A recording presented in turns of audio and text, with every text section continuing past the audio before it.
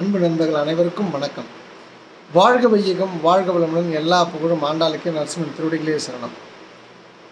வேல் பூஜை வந்து ஒரு பெரியவர் நேற்று வீடியோ பார்த்துட்டு ஏன் அது காலையில் போடுறீங்க? சாயந்தரம் போடுங்க.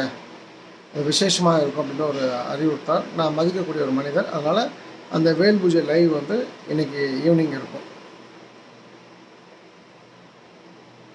வாஸ்து அப்படின்ற ஒரு விஷயம் நம்பிக்கை சார்ந்த விஷயம் சொல்லலாம். இது மூட நம்பிக்கைன்னு சொல்கிறவங்களுக்கு மூட நம்பிக்கை இது அறிவியல் சார்ந்த விஷயங்களுக்கு அறிவியல் சார்ந்த விஷயங்கிறவங்களுக்கு அறிவியல் சார்ந்த விஷயம். எது எப்படி இருக்குன்னா அந்த வாசில் ஒரு பத்து கதை இருக்குது அதில் நிறைய ஆயிரம் கதை இருக்குது அதில் பத்து கட்டுக்கதைகளை பற்றி நம்ம இன்றைக்கி பார்ப்போம். நம்பர் ஒன்று முதல் கதை வீட்டோடைய தலைவர் என்ன ராசியோ அந்த ராசிப்படி தான் தலைவாசல் வைக்கணும். இது மிகப்பெரிய தவறு. இப்போ தலைவர் இறந்துட்டார். அதுக்கப்புறம் வாசலில் வந்து மனைவி வந்து வேறு ராசி வேறு பக்கம் வைக்கணும். அந்த பக்கம் பக்கத்து வீடு இருக்குது வைக்க முடியுமா?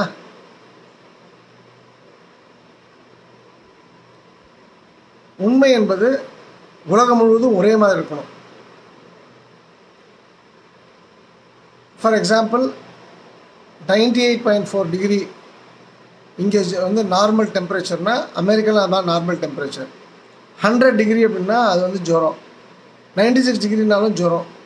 இது யூனிவர்சல் ட்ரூத்து அதே போல் தான் ஒரு ஃபார்முலா என்பது யூனிவர்சலாக உலகம் முழுவதும் ஒரே மாதிரி இருக்கணும். அந்த வகையில் இந்த நட்சத்திரம் இந்த ராசிக்கு இந்த திசை இந்த வாசல் என்பது மிகப்பெரிய தவறு. இன்ஃபேக்ட் அப்பாவே உங்களோட இருக்கார். அவர் காலத்துக்கு அப்புறம் பையன் வந்து தலையெடுக்கிறான்.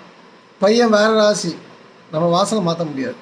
ஸோ அதை விடுத்துட்டு நமக்கு எது தோதுப்படுதோ இப்போ நமக்கு வந்து தெற்கு பக்கம் தான் ரோடு. நான் வடக்கு பக்கம் வந்து நல்ல ஜோதிடர் சொன்னான்னு சொல்லி சுற்றி போய் வடக்கு பக்கம்லாம் வர முடியாது. ஸோ எனவே இது வந்து ஒரு பெரிய மூட நம்பிக்கையை நான் பார்க்குறேன். இது ஒரு மிகப்பெரிய கட்டுக்கதை. ஒன்று. இரண்டாவது நீரோட்டம். பார்த்து போர் போடுவாங்க. ஆக்சுவலாக அதுவே மிகப்பெரிய தவறு. நீங்கள் நல்லவங்க அப்படின்னா நீங்கள் எங்கே வேணால் போடுங்க நீரோட்டம் பார்க்காம எங்கே வேணால் போர் போடுங்க தண்ணி வரும். எங்கே இந்த சென்ஸ் வந்து வடகிழக்கு மொழியில் எந்த வடகிழக்கில் எங்கே வேணால் போடலாம். இல்லை நான் நீரோட்டம் பார்த்துட்டேன். என்னுடைய தென்கிழக்கு பகுதியில் தான் போர் போட சொல்லியிருக்காரு தென்மேற்கு பகுதியில் தான் நீரோட்டம் பார்த்து போர் போட சொன்னார் அப்படின்னு சொல்லிட்டு இவங்க போரும் போட்டுட்டு வேறு எங்கேயுமே தண்ணி கிடைக்கல அப்படின்னு போர் போட்டுட்டு போர் வந்து நூறு அடி போட்டுட்டாங்க. தென்மேற்குலேயோ தென்கிழக்குலையோ இல்லை வடமேற்குலையோ உடனே வடகிழக்கில் நூற்றி பத்து அடிக்கு பள்ளம் ஒரு டியூப் மாதிரி போடுவாங்க. அது மிகப்பெரிய தவறு. நீங்கள் நீரோட்டம் பார்க்காம வடகிழக்கில் தண்ணி வரும். கடவுள் மேலே பாரத்தை போட்டு போர் போடுங்க. நல்லா நல்லா தண்ணி வரும். தண்ணி இருக்குது நீரோட்டம் சொன்னவர் வந்து தப்பான இடத்த காமிக்கிறாருன்னு அந்த இடத்துல போட்டிங்கன்னா அதுக்கான பாதிப்பு மிக பயங்கரமாக இருக்கும் என்பது என்னோடய தாழ்மையான கருத்து. அதே போல் மூணாவது விஷயம். ஜோதிடர்கள் என்ன சொல்லுவாங்கன்னா நீங்கள் ரொம்ப கஷ்டத்தில் இருக்கீங்களா? நான் அகைன் வந்து எந்த ஜோதிடர்கள் மேலே அகேன்ஸ்டாக நான் சொல்லலை. ஜோதிடர் ஜோதிடர் வந்து வாஸ்து ரீதியாக விஷயங்கள் பேசும்போது அதுக்கு பதிலாக தான் இந்த விஷயம் சொல்கிறேன் திரும்பவும் சொல்கிறேன் என்ன என்னுடைய நண்பர் சக நண்பர் ஜோதிடர்களுக்கு ஜோதிடம் என்பது நூறு சதம் உண்மை. அது அறவைக்கடர்களாக சில ஜோதிடர்கள் இருக்கிறது தான் சங்கடமாக இருக்குது அவங்க பணம் சம்பாதிக்கணுன்றதுக்காக மக்களுடைய அறியாமை எக்ஸ்பயர் பண்ணுறது தான் நான் வெறுக்கிறனுடைய ஜோதிடம் நூறு சதவீதம் உண்மை. நல்ல ஜோதிடம் நீங்கள் பிடிச்சிங்க. அவ்வளோதான் அப்போ இந்த இடத்துல எந்த ஜோதிடராக இருந்தாலும் உங்கள் பூர்வீக வீடு சரியில்லை நீங்கள் வீடு மாறிடுங்க உங்களுக்கு குழந்த பிறக்கும் கடன் பிரச்சனை தீரும் கல்யாணம் நடக்கும் நல்லா வந்துடுவீங்க அப்படின்னு சொல்லி சொல்கிறாங்கன்னா நீங்கள் ஒரு விஷயம் வந்து தெளிவாக புரிஞ்சுங்க. இது போல் ஜோதிடர்கள் பேச்சை கேட்டு வீடு மாறுறவங்க அத்தனை பேருக்கும் கிட்டத்தட்ட நூறில் தொண்ணூத்தொம்பது சதவீதம்க்கும் சத சதவீதம் பேருக்கும் என்ன நடக்குதுன்னா அவங்க பூர்வீக வீட்டில் என்ன தப்பு இருக்கோ அதே போல் தவறு உள்ள ஒரு வீட்டுக்கு தான் அவர்கள் வந்து வாடகைக்கும் போகிறாங்க இல்லை வாங்கிட்டு போகிறாங்க ஏதோ ஒரு ஒன் பர்சன்ட் எக்ஸப்ஷனல் ஒரு ஆள் எக்ஸப்ஷனல் அந்த நூறில் அவர் வந்து அவரோட ரொம்ப ரொம்ப நல்ல நேரம் இருந்து அவருக்கு ஆட்டோமேட்டிக்காக கொஞ்சம் பெட்டரான வீடு கிடைக்கலாம். ஸோ நீங்கள் பூர்வீக வீடு சரியில்லைன்ட்டு ஒரு நான் வேறு ஒரு வீட்டுக்கு போகிறேன்னு சொல்லிட்டு பூர்வீக வீட்டில் இருக்க தப்போடைய தப்பு போலவே நீங்கள் வாடகை வீட்லேயும் இருக்கீங்கன்னா நீங்கள் வீடு மாறணும்னு எந்த பிரயோஜனமும் இல்லை. ஸோ எனவே பூர்வீக வீடு மாறுன்னு சொல்கிறது நல்ல விஷயம். அதோட ஜோதிட வேலை முடிஞ்சது. எந்த வீட்டுக்கு போகணும் அப்படின்றது அங்கே தான் வாஸ்து வந்து கெட்டிங் இன்ட்ரடியூஸ்ட் அப்போ நல்ல வீடை பார்த்து நல்லபடியாக போங்க. அந்த வீட்டுக்கு தெற்கு மேற்கில் வந்து மலை இருந்து வடக்கு கிழக்கு பள்ளம் இருந்துன்னா சால சிறப்பானது. ஸோ பூர்வீக வீடு தவறுன்னு சொல்லிட்டு ஜென்ரலாக சொல்லிவிட்டு வீடு மாற்ற சொல்வது என்பது நீங்கள் என்ன புரிஞ்சுக்கினா அது ஒரு கட்டுக்கதையாக தான் நான் பார்க்குறேன். எந்த இடத்துலன்னா நீங்கள் வீடு போகிற வீடு சரியாக பார்க்கல அப்படின்னு சொன்னால் அந்த தவறு வந்து சரி செய்ய முடியாத தவறாக தான் இருக்கின்றது தொடர்ந்து என்பதை நீங்கள் புரிஞ்சுக்கணும். அடுத்ததாக வீட்டில் வந்து நடராஜர் கிருஷ்ணர் உபதேசம் பண்ணுற ஃபோட்டோ நடராஜருடைய சிலை உக்கரமான தெய்வங்கள் காளி வராகி நரசிம்மர் அனுமன் போன்ற விக்கிரகங்கள் படங்கள் இருக்கக்கூடாது. அது வீட்டுக்கு ஆகாது. நடராஜர் காலா தூக்கிட்டு இருந்தால் வீட்டில் ஆடு மாதிரியே தான் இருக்கும். கிருஷ்ணன் கிருஷ்ணர் உபதேசம் பண்ணுற ஃபோட்டோ இருந்ததுன்னா எல்லாருமே வந்து சண்டை போட்டுட்டு தான் இருப்பாங்க. வீட்டில் எப்பவுமே போர் போல தான் இருக்கும் அப்படின்ற ஒரு கருத்துக்கெலாம் உண்டு. அது மிகப்பெரிய தவறு. இதில் வந்து எனக்கு உடன்பாடு இல்லை. ஸோ இது ஒரு கட்டுக்கதையாக தான் நான் பார்க்குறேன். நரசிம்மரோட அவதாரம் என்னன்னு புரியாமல் நரசிம்மர் வந்து உக்கிரமான தெய்வம் அப்படின்னு நினச்சிங்கன்னா நம்மளை விட முட்டாள் யாருமே கிடையாது. நரசிம்மரை விட சாந்தமான ஒரு தெய்வம் யாருமே இருக்க முடியாது. ஒரு பிரகலாதனுக்காக மனம் இறங்கினவர் ஒரு குழந்தைக்காக மனம் இறங்கினவருக்கு எவ்வளோ இலக்கிய மனசு இருக்கும்? நாம் புரிந்து கொள்ள வேண்டும். அப்போது இது ஆஞ்சநேயருக்கு ஆஞ்சநேயரே வந்து ஒரு ஒரு குழந்தை தானே? ஆஞ்சநேயர் குழந்தையா தானே வந்து அவர் சூரியனை பிடிச்சி சாப்பிட போகிறாரு அப்போது குழந்தை மனசுக்காரங்களுக்கு எப்படி கல் நெஞ்சம் இருக்கும்? அது எல்லாருக்குமே இது பொதுவான விஷயம். ஆகவே இந்த ஒரு கருத்தை நீங்கள் நம்ப வேண்டாம் என்பது என்னோட தாழ்மையான கருத்து. அடுத்ததாக கடை இப்போ வந்து வாஸ்தில் வந்து வாஸ்துபடி ஒரு வீடு கட்டிட்டிங்கன்னா பணம் கொட்டு கொட்டுன்னு கொட்டும் அப்படின்னு ஒரு யாராவது சொல்கிறாங்கன்னா அது வந்து மிகப்பெரிய மூட நம்பிக்கை. நீங்கள் என்ன புரிஞ்சுக்கணுன்னா வீடே இல்லாத எப்பவுமே மரத்துக்கு கீழே இயற்கையோட இயற்கையாக வாழக்கூடிய எந்த கொரோனாவும் அவங்கள அட்டாக் பண்ணாத அளவிற்கு உடல் வாகை வைத்து வைத்து கொண்டிருக்கக்கூடிய நரிக்குறவர் சமுதாய மக்கள் நீங்கள் பார்த்துருக்கீங்களா? அவங்க பணம் இல்லாமல் இருக்காங்களா? இந்த திருடன் மண் திருடுறேன் கல் திருடுறவன் செயின் திருடுறவன் வண்டியை உடைச்சி லேப்டாப் திருடுறவன் வண்டியை திருடுறவன் பேங்க்கில் ராபரி பண்ணுறவன் பேங்க்கே கொள்ளடிக்கிறவன் இந்த சோக்ஸி மாதிரி பேங்க் ஐயாயிரம் கோடி பத்தாயிரம் கோடி ஏமாத்துறவங்க. லஞ்சம் வாங்குற அரசியல்வாதிகள் லஞ்சம் வாங்குகிற அதிகாரிகள் இவங்க வீடுலாம் வந்து ஹண்ட்ரட் பர்சன்ட் வாசுபடி இருக்கிறதுனால தான் பணம் கூட்டுதா? வீடே இல்லாதவனுக்கும் பணம் வருது. தப்பான வீட்டில் இருக்கிறவனுக்கும் பணம் வருதுங்கும்போது மனம் பணம் பணம் வருது என்ப என்கின்ற ஒரு விஷயத்தை நீங்கள் பார்க்கும்போது பணத்துக்கும் ந- ச- நல்ல வாஸ்துக்கும் அப்படின்னு ஒரு விஷயம் நீங்கள் கேட்டிங்கன்னா நல்லபடி வாஸ்து இருந்ததுன்னா நல்ல எண்ணங்கள் வரும். எண்ணங்கள் மூலம் தவறான செயல்கள் செய்யக்கூடாது அப்படின்ற ஒரு எண்ணம் வரும். அதுக்கப்புறம் ப அதுக்கப்புறம் தான் பணம் வரும். ஆனால் இப்படி இருந்தால் தான் பணம் வரும் அப்படின்னு யாராவது சொல்கிறாங்கன்னா அது அவங்களுக்கு வாஸ்து தெரியல. நீங்கள் ஏமாற்றப்பட்டீங்கன்ற ஒரு விஷயத்தை நீங்கள் புரிஞ்சுங்க. ஸோ அது ஒரு மிகப்பெரிய கட்டுக்கதை. வீடு வாசப்படி கட்டிட்டா பணம் கூரை பிடிச்சி கட்டும் அப்படின்லாம் தவறு. வீடு சரியில்லைனா கூட ஒருத்தனால வந்து பணத்தோடு இருக்க முடியும் பணத்தோட உயிர் வாழ முடியும். இதுக்கு நிறைய உதாரணங்கள் நான் சொல்லலாம். அடுத்ததாக ஒரு தெருக்கூத்து இருக்கின்றது. அந்த தெருக்கூத்து மிகப்பெரிய தவறு.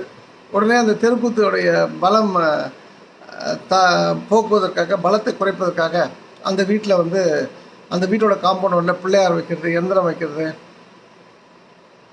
வைப்பாங்க. அதனால் எந்த பிரயோஜனமும் கிடையாது. அதனால் நமக்கு செலவு தான். வைக்கக்கூடாது. வைத்தாலும் நல்லது நடக்காது. எந்த நல்லதும் நடக்காது. நான் சொன்னது போல தான் ஏற்கனவே சொன்னது போல தான் தப்பை சரி செய்யணுமோ ஒழிய தப்பை சரி செய்யாமல் அதுக்கு ஒரு பரிகாரம் பண்ணிட்டா நாம் நல்லபடியாக இருப்போன்ற கருத்து தவறானது. ஃபார் எக்ஸாம்பிள் நான் ஒரு கொலை பண்ணிட்டேன். கொலைக்கு பரிகாரம் வந்து தண்டனை தான். நான் எக்ஸாம்பிள் நான் வந்து ஏதோ ஒரு ஒரு பெரிய ஆள் அரசியலில் பெரிய ஆள் எல்லாரையும் வந்து விலை கொடுத்து வாங்கி நான் வந்து கோர்ட் கேஸ் வந்து தப்பிச்சிடலாம் போலீஸ் வந்து தப்பிச்சிடலாம். ஆனால் நம்மளை படைச்சவங்ககிட்ட வந்து தப்பிக்க முடியுமா? அவனுக்கு லஞ்சம் கொடுக்க முடியுமா? ஸோ இந்த இடத்துல நான் செய்த குற்றத்துக்கு ப பலன் உண்டு. அது வந்து அதுக்கு வந்து தப்பு அந்த தப்புக்கு பிராயச்சித்தம் இல்லை. தண்டனை அனுபவிச்சு தான் ஆகணும்னா அனுபவிச்சு தான் ஆகணும். அதே போல் தான் பெருக்குத்து தப்புனா தப்பு தான் அதுக்கு என்ன விளைவுகளை ஏற்படுத்துன்றதான் விஷயமா ஒழிய அதுக்கு பரிகாரங்கள் கிடையவே கிடையாதுன்றதை நீங்கள் புரிஞ்சுக்கணும். அதுக்காக பணத்தை செலவு பண்ணக்கூடாது. அடுத்ததாக அண்ணன் தம்பி பாக பிரிவினை. அண்ணன் மேலே இருக்கணும் கீழே இருக்கணும். ரெண்டு வகையாக பிரிக்கலாம். மேலே இருக்குன்னா மேல் பக்கம் அண்ணன் இருக்கணும் கீழ் பக்கம் தம்பி இருக்கணும். இன்னொரு மேல் என்னென்னா அண்ணன் வந்து மேலே ரெண்டு வீடாக இருக்குது கீழ் வீட்டில் தம்பி அண்ணன் மேல் வீட்டில். இது ரெண்டுமே தப்பானது. ஒரு மனையை ரெண்டாக பிரிக்கிறீங்கன்னா யார் காம்பவுண்ட் போட்டுச்சுன்னா யார் வேணால் எங்கே வேணால் இருக்கலாம். ஒரு மனையில் ரெண்டு வீடு கட்டுறீங்க கீழேயும் மேலேயும் சொல்லிட்டா யோசிச்சு பாருங்கள் அண்ணனுக்கு எண்பது வயசு தம்பிக்கு அறுபது வயசு யாரால் நடக்க முடியும்? அப்போ ஆப்வியஸ்லி அண்ணன் வந்து கீழே தான் இருக்கணும் தம்பி மேலே இருக்கணும். இப்படி தான் பண்ணணும். ரெண்டாவது சிட்டியில் மக்கள்கிட்ட நிறைய நம்பிக்கை உண்டு. மூட நம்பிக்கை. என்னென்னா நமக்கு மேலே யாராவது தான் நம்மளை அழுத்திடுவாங்க.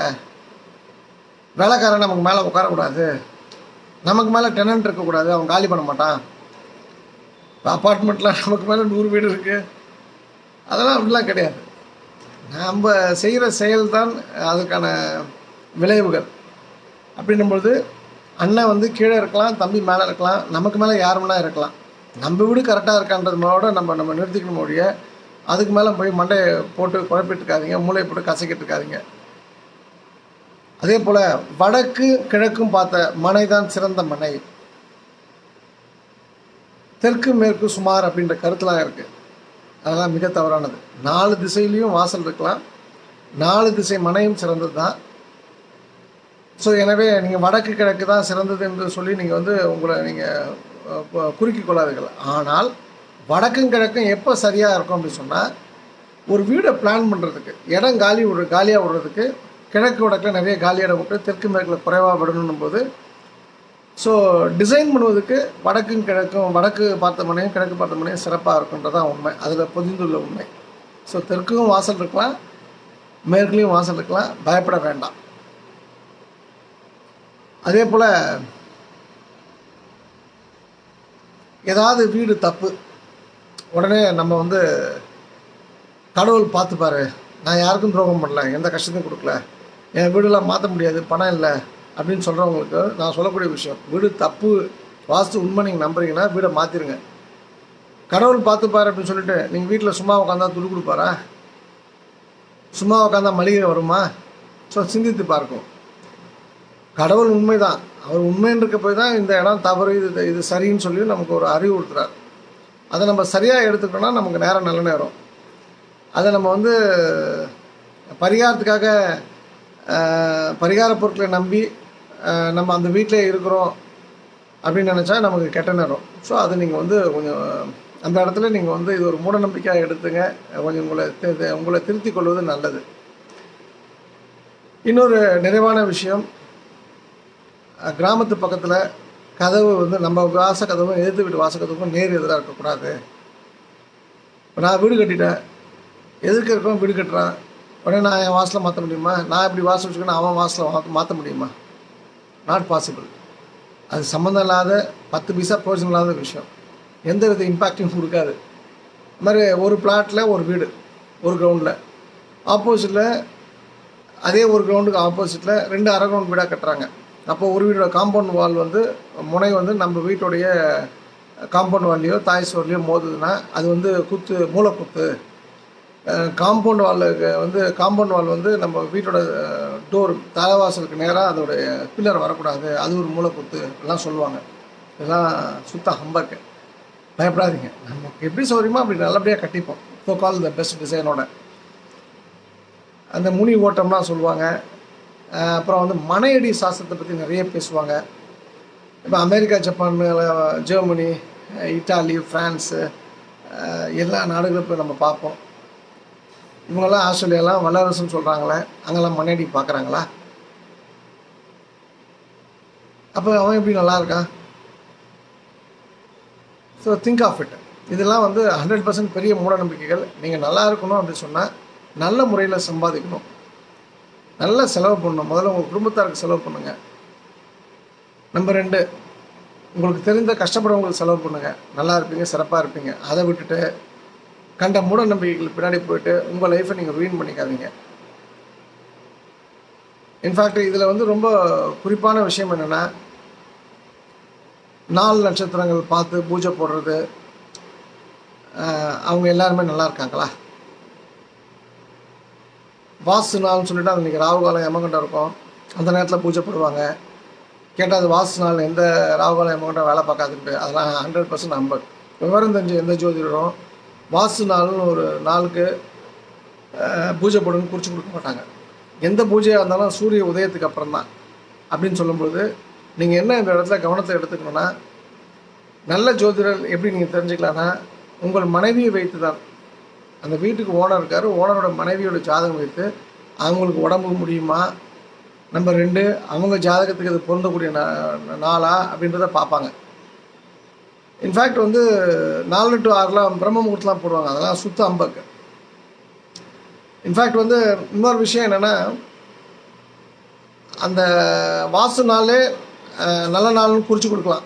அன்றைக்கி நல்ல முகூர்த்த நாள் ஆஃப்டர் சிக்ஸ் தேர்ட்டி காலையில் வந்து நல்ல நேரம் குடிச்சு விட்டோம்னா போடுறது தப்பு கிடையாது. ஆனால் ராகுகாலம் ராகுகாலத்தில் வேலை தான் பார்க்கும். எமகண்ட எமகண்ட தான் வேலையோட தான் பார்க்கும். இப்போ நீங்கள் ஜோதிடர் நம்புகிற பட்சத்தில்.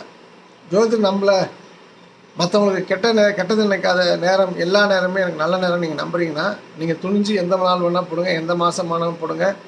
ஒன்றும் ஆகாது. பயப்படாதீங்க. இது நான் உணர்ந்த விஷயம். ஸோ நீங்களும் வந்து சின்ன சின்ன விஷயங்கள் எல்லாம் வந்து போட்டு குழப்பிக்கிட்டு இது இருந்தால் இப்படி ஆகிடுமா அது இருந்தால் அப்படி ஆகிடுமாலாம் பயப்படாமல் இது உழைத்த பணம். யாரையும் ஏமாத்தாமல் சம்பாதிச்ச பணம். நாம் நல்லா இருப்போம் அடுத்துள்ளவங்க நல்லா இருப்பாங்க. நல்லா நல்லா இருக்கணும்னு நினைக்கிற நல்லா இருப்பாங்கன்னு நினைக்கிற எண்ணத்தோடு நம்ம வாழ்ந்துட்டு இருக்கணும் போது உங்களுக்கு நல்லது மட்டுமே நடக்கும். எப்போதும் உங்களுக்கு நல்லது நடக்க. அட் த சேம் டைம் உங்களுக்கு உங்களுக்கு அகெயின்ஸ்ட் உங்கள் விஷ் தவறான விஷயங்கள் நடந்தாலும் அதை தாங்கக்கூடிய வல்லமையும் அது அது அந்த அந்த பிரச்சனையிலேருந்து உங்களை ஜெயி ஜெயிக்கக்கூடிய நீங்களாக ஜெயிக்கக்கூடிய ஒரு வலிமையும் கடவுள் நான் வழங்கக்கூடிய ஆண்டாள் ரங்கமன்னாரும் நரசிம்மரும் திருச்செந்தூர் பழனி முருகரும் கொடுக்க என்னுடைய அன்பான வாழ்த்துக்கள். இரவு நிச்சயம் வேல் பூஜையில் சந்திப்போம். நன்றி. சர்வம் கிருஷ்ணார்ப்பணம்